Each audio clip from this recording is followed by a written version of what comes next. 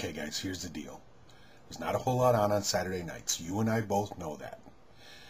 But tonight on MTV, they're showing Jackass The Beginning.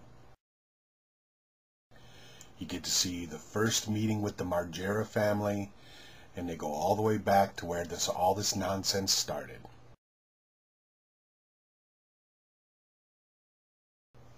You didn't hear it from me, but this is what you should watch.